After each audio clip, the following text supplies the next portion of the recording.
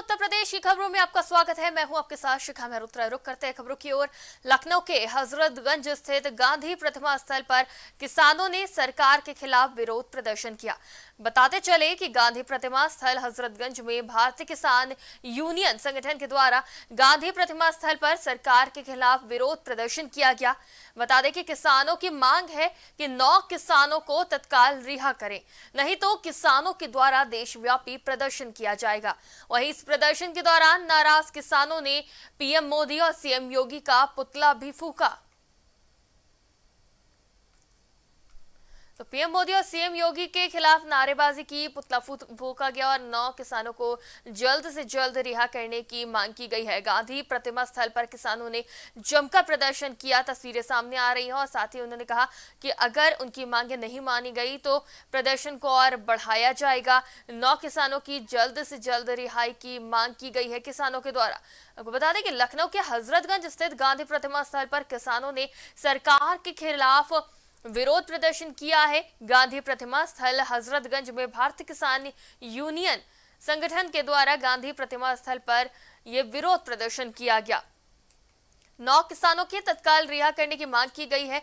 वहीं किसानों के द्वारा देशव्यापी प्रदर्शन किया जाएगा और इस प्रदर्शन के दौरान नाराज़ किसानों ने पीएम मोदी, सीएम योगी का पुतला फूका और जमकर नारेबाजी की।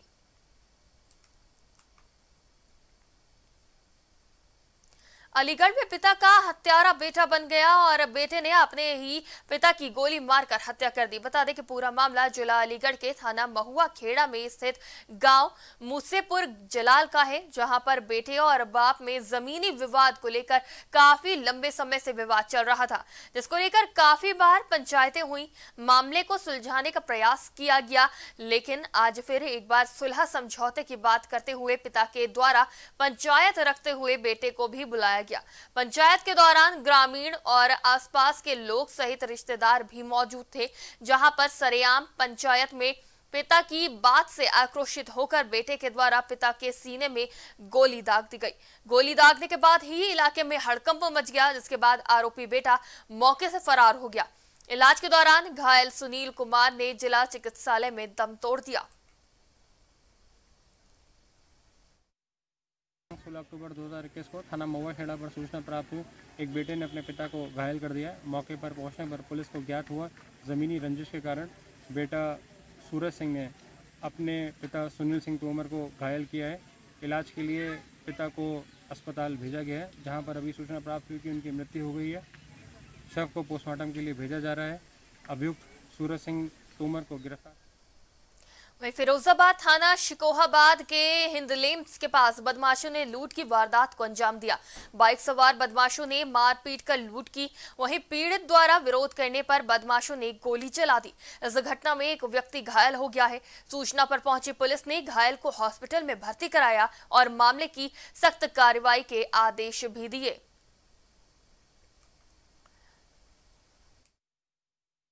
ये थाना शिकोहाबाद में एच आर मैनेजर है बजाज बैंक में और उनका लड़का है वैभव। उसको किसी व्यक्ति ने अभी ये नाम नहीं बता रहे हैं बाद में हो सकता है कि उनका ट्रीटमेंट चल रहा है तो इलाज में घुटने के पास उनको पैर में फायर आर इंजरी आई है इलाज हो रहा है। डिटेल प्राप्त करके कार्रवाई की जाएगी तभी प्राप्त होते ही पंजीकृत किया जाएगा। सभी लोगों ने मौका निरीक्षण कर लिया है आवश्यक कार्रवाई नियमानुसार की जाएगी।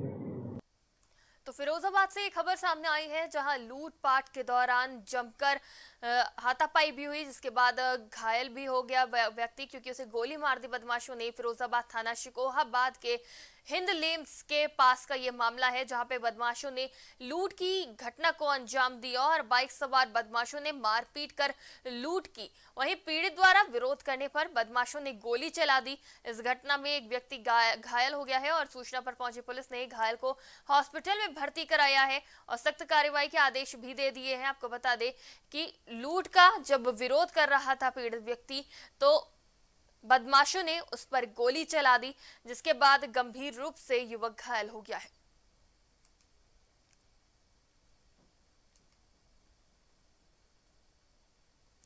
संभल, उत्तर प्रदेश 2022 विधानसभा चुनाव से पहले सभी राजनीतिक दलों ने अपने अपने स्तर से तैयारियाँ शुरू कर दी हैं। राष्ट्रीय लोक दल का गढ़ कही जाने वाली पश्चिमी उत्तर प्रदेश में 2019 के लोकसभा चुनाव में रालोद, सुप्रीमो चौधरी अजीत सिंह को भाजपा से मिली करारी हार के बाद एक बार फिर राष्ट्रीय लोकदल पश्चिमी उत्तर प्रदेश में ज़मीन तलाशने लगी है, जिसे लेकर राष्ट्रीय लोकदल ने संभल सदर विधानसभा में सभी जातियों को लामबंद कर सम्मेलन के सहारे लुभाने की कोशिश की। रालोद ने सभी जातियों को एकत्र करते हुए उत्तर प्रदेश में भाईचारा जिंदाबाद सम्मेलन आयोजित किया। इस सम्मेलन में रालोद से जुड़े सभी जातियों के सम्मानित लोगों को आमंत्रित किया गया। विभिन्न पार्टियों ने जाति के आधार पर सम्मेलन आयोजित करना शुरू कर दिया है। वहीं रालोद के राष्ट्रीय अध्यक्ष जयंत चौधरी ने सभी जातियों को जोड़ने के लिए भाईचारा जिंदाबाद सम्मेलन पूरे प्रदेश में आयोजित करने के निर्देश भी दिए हैं।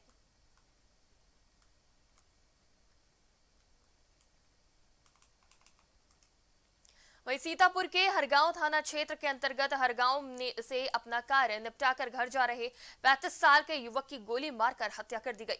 सूचना पाकर पहुँचे पुलिस ने शव को कब्जे में लेकर पोस्टमार्टम के लिए सीतापुर भेज दिया है। मिली जानकारी के अनुसार पुरानी रंजिश में हत्या की गई है।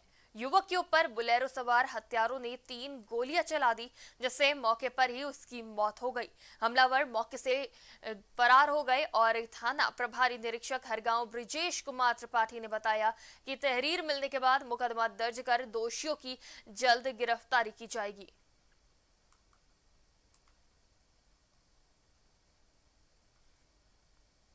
तो सीतापुर की ये घटना जहाँ गोली मारकर युवक की हत्या कर दी गई है और सीतापुर भेज दिया गया है शव को पोस्टमार्टम के लिए। तो ये सीतापुर से घटना सामने आई है, थाना हरगांव, जनपद सीतापुर का ये मामला है।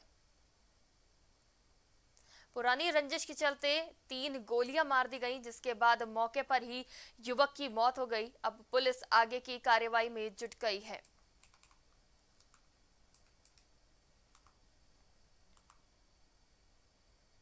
वही मुख्यमंत्री योगी आदित्यनाथ आज श्रावस्ती बहराइच के दौरे पर हैं। सीएम योगी के इन दोनों जगह के दौरे को लेकर सारी तैयारियाँ शनिवार को ही पूरी कर ली गई। मुख्यमंत्री दोपहर करीब एक बजे श्रावस्ती पहुँचे, जहाँ 221 करोड़ की 141 परियोजनाओं का लोकार्पण और शिलान्यास करेंगे। इसके साथ ही मुख्यमंत्री लाभार्थी पर योजनाओं के लाभार्थियों को प्रमाण पत्र भी वितरित करेंगे। मुख्यमंत्री दोनों जगह पर जनसभा को संबोधित करेंगे। मुख्यमंत्री के दौरे को लेकर भिनगा स्थित स्टेडियम में एक बड़े पंडाल को सजाया गया है, जहाँ पर कई हज़ार कुर्सियाँ लगाई गई हैं। इसके साथ ही पंडाल में कई एलईडी भी लगाई गई है। मुख्यमंत्री के दौरे को लेकर सुरक्षा के पुख्ता इंतज़ाम किए गए हैं। तो श्रावस्ती और बहराइच के दौरे पर हैं। आज सीएम योगी वहीं शाम तक लखनऊ भी वापस आएँगे। आपको बता दें कि श्रावस्ती में कई योजनाओं का लोकार्पण और शिलान्यास करेंगे और कई बड़ी सौगातें देते हुए नज़र आएँगे। आपको बता दें कि श्रावस्ती पहुँचेंगे सीएम योगी, जहाँ 221 करोड़ की 141 परियोजनाओं का लोकार्पण और शिलान्यास कर जनता को भी संबोधित करेंगे। साथ ही लाभार्थी परक योजनाओं के लाभार्थियों को प्रमाण पत्र वितरित करेंगे। इस खबर पर हमारे साथ ज़्यादा बातचीत के लिए संवाददाता गौरव हमारे साथ लाइव जुड़ चुके हैं। तो गौरव, क्या जानकारी आपके पास? आज क्या क्या कार्यक्रम है सीएम योगी आदित्यनाथ के? देखिए, मुख्यमंत्री योगी आदित्यनाथ पहले भी लगातार उत्तर प्रदेश के दौर पर जाते रहे हैं और वहाँ पर जो योजना है, उनकी समीक्षा भी करते रहे हैं। और खास तौर से जैसे चुनाव पास आ रहा है, उनके दौरों की गतिविधि भी लगातार बढ़ गई है। एक दिन में दोनों जिलों का दौरा भी कर रहे हैं और वहाँ पर समीक्षा बैठक भी कर रहे हैं और खास योजनाओं के द्वारा जनता को सौगात भी दे रहे हैं। और देना भी चाहिए क्योंकि साढ़े चार साल सरकार के पूरे हो चुके हैं और यहाँ पर ये मांग भी है कि अपने कार्यों का लेखा जोखा, अपने जो कार्यकाल का लेखा जोखा है, वो भी दिया जाए। और खास में कुछ ऐसी सौगातें जनता को दी जाए कि जनता का ये माना जाए कि ये सरकार बहुत बेहतर है आगे भविष्य में अगर 2022 में सरकार को मौका मिलता है तो सरकार और बेहतर काम करेगी। तो इसको देखते हुए आज मुख्यमंत्री योगी आदित्यनाथ आज श्रावस्ती और बहराइच दौरे पर मैं आपको बता दूँ कि श्रावस्ती के भिनगा स्पोर्ट्स स्टेडियम में ये कार्यक्रम किया जाएगा जहाँ पर छप्पन हज़ार के लगभग लगभग जहाँ पर क्षमता है बड़ा बड़ा स्टेडियम है वहाँ पर जनसभा भी आयोजित होगी एलईडी भी वहाँ लगाई गई है और मुख्यमंत्री वहाँ पर लगभग लगभग तीन सौ पंचानवे करोड़ की सतासी परियोजनाओं का शिलान्यास करेंगे लोकार्पण करेंगे और साथ ही साथ वहाँ पर लाभार्थी हैं जो अन्य योजना के लाभार्थी हैं उनको प्रमाण पत्र भी देंगे और उनको उसका लाभ भी देते नज़र आएँगे। इसके साथ ही मुख्यमंत्री लगभग लगभग तीन बजे बहराइच भी पहुँचेंगे और वहाँ पर चौपाल सागर नानपारा में जो मौजूद है स्थित है वहाँ पर मुख्यमंत्री लगभग लगभग दो सौ इक्कीस करोड़ की एक सौ चवालीस परियोजनाओं की शिलान्यास और लोकार्पण करते नज़र आएँगे। साथ ही वहाँ पर समीक्षा बैठक भी होगी और एक जनसभा का आयोजन भी वहाँ पर किया जाएगा। जी। और लखनऊ कितने बजे तक वापस आ सकते हैं सीएम योगी देखिए लखनऊ मुख्यमंत्री का लखनऊ आने का लगभग लगभग छः बजे के लगभग मुख्यमंत्री लखनऊ आएँगे क्योंकि लगातार संगठन की बैठकें भी चल रही हैं सम्मेलन भी चल रहे हैं और चुनाव बहुत दूर नहीं आपको बता दूँ, विधानसभा चुनाव की घोषणा भी हो चुकी है और माना जा सकता है कि जनवरी से आचार संहिता भी लग जाएगी। तो समय कुछ कार्यों पर लोग भी ला रहे थे शिलान्यास कार्यक्रम है, लोकार्पण कार्यक्रम है, वो भी रोक दिए जाते हैं। तो इसको देखते हैं, अब दौरे भी लगातार होंगे, लोकार्पण भी होंगे और जनसभा भी लगातार आयोजित होगी और मुख्यमंत्री शाम तक लखनऊ में वापस भी रहेंगे। जी, गौरव, जिस तरह से मैराथन बैठके और दौरे कर रहे सीएम योगी आदित्यनाथ और बड़ी बड़ी सौगातें दे रहे जनता को तो इससे क्या कुछ असर पड़ सकता है चुनावों पे?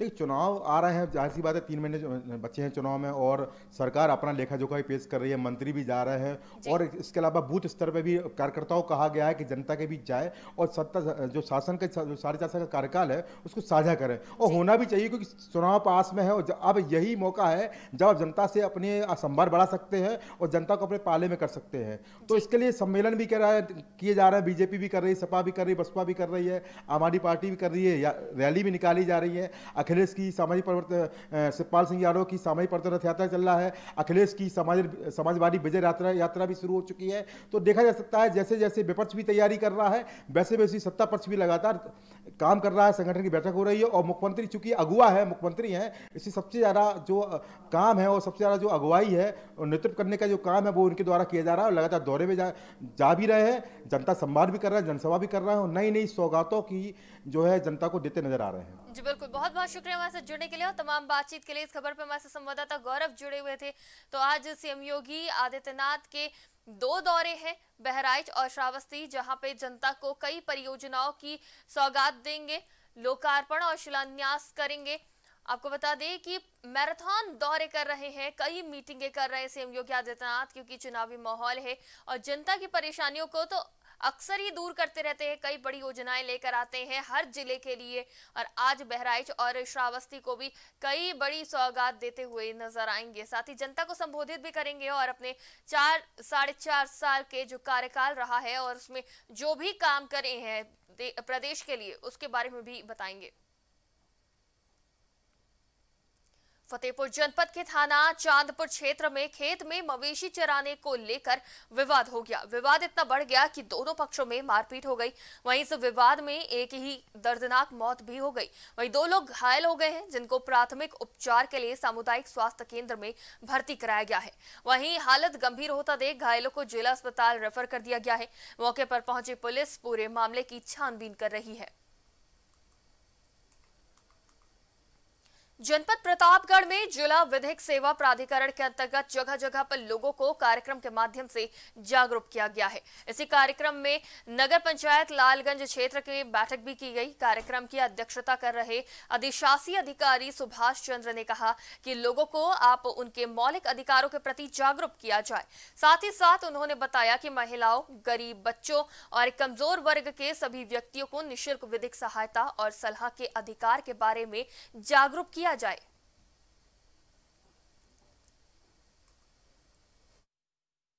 आज़ादी का पचहत्तर वर्ष बीत जाने के उपलक्ष्य में आज उसे अमृत महोत्सव के रूप में मनाया जा रहा है। कई सारे इसके आयाम रहे हैं। विभिन्न विभागों ने विभिन्न तरीके से इस उपलक्ष्य में अपने कार्यक्रम आयोजित किए हैं। जो हमें निर्देश प्राप्त हुए थे, शासकीय निर्देश, कि हम विधिक, निःशुल्क विधिक सहायता से संबंधित लोगों को जागरूक किया जाएगा और उसके रूप में जगह जगह समारोह आयोजित किए जाएँगे।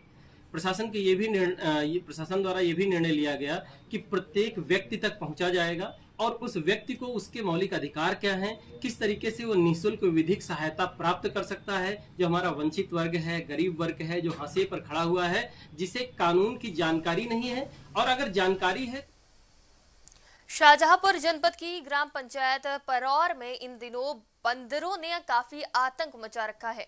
अंधेरों से परेशान होकर करनी सेना के जिला अध्यक्ष अजय परमार ने जिलाधिकारी से प्रार्थना पत्र देते हुए बंदरों को पकड़वाने की गुहार लगाई है।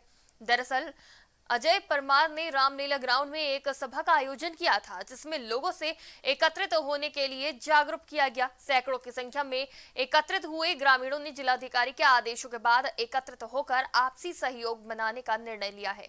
समस्या से निजात दिलाने के लिए प्रार्थना पत्र में अजय परमार ने बताया की आए दिन बंदरों के आतंक से कई संख्या में ग्रामीण लोग परेशान हो रहे हैं। आए दिन गाँव के समीप हो रही सब्ज़ी की खेती को चौपट कर रहे हैं तो वहीं महिलाओं के कानों से कुंडल नोच लेते हैं तो वही सब्ज़ी लेकर बाज़ार से कोई आए तो उसकी सब्ज़ियाँ भी छीन लेते हैं। हाँ ग्राम पंचायत बरौर में बंदों का बहुत ज़्यादा आतंक है क्योंकि यहाँ पर बंदर फ़सल नुकसान करें तब तो सीमित है। फ़सल के साथ साथ यहाँ लोगों के शरीर जो भी है जान माल की हानि कर रहे हैं यहाँ पर। लोगों को छत से गिरा रहे हैं और हाथ पैर टूट रहे हैं किसी का कूला टूट रहा है मतलब कहीं ना कहीं अपाहिज कर रहे हैं बंदर। हाँ हेलो, मैं बरतंत्र सिंह शर्मा, परौर से एक उमेश नाम के ड्राइवर थे। उन्होंने हमें कार्ड दिया था, बंदर पकड़वाने वाली टीम मथुरा की है। तो हमने उनके बारे में जानकारी की तो उन्हें कार्ड ले करके हमने पूरे गाँव में कार्ड फैला दिया। हमने कि बंदरों से बहुत बड़ी दिक्कत है, हमारे लड़के को जांग पर काट लिया। कम से कम तीन महीना बच्चा परेशान रहा, क्योंकि कोई दशा बकाया संभल में जश्न ईद मिलादुनबी त्योहार को लेकर बैठक का आयोजन किया गया। वहीं इस बैठक में कोरोना गाइडलाइंस के साथ फेस्टिवल मनाए जाने को लेकर सहमति बनी। त्योहार आपसी भाईचारे के साथ मनाया जाएगा, इस पर भी सहमति बनी। बैठक की गई थी जो ईद मिलादुलनबी का फेस्टिवल है, उसको लेकर। उसमें यह हम लोग की एक आम सहमति बनी कि फेस्टिवल को अच्छे से मनाया जाएगा। जो कोरोना के संबंध में गाइडलाइंस नए जारी हुए हैं, उसका उत्तर प्रदेश की खबरों में फ़िलहाल इतना ही। आप बने रहिए प्राइम टीवी के साथ।